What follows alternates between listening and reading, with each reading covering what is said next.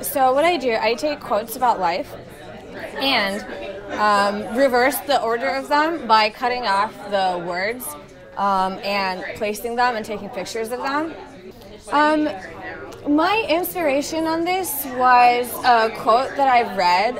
I thought that it sounded really good, but at the same time, um, keeping the syntax intact of the sentence and reversing the word order uh, was a good way to play with it.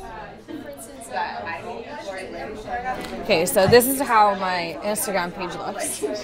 And for instance, I can get one from Dalai Lama. The original quote is Our prime purpose in this life is to help others. And if you can't help them, at least don't hurt them. By Dalai Lama. And the reverse version is Our prime purpose in this life is to help others. And if you can't hurt them, at least don't help them. That's Dalai Lama. Syntax is very important in a sentence, and it carries a strong message that the words do not necessarily have anything to do with.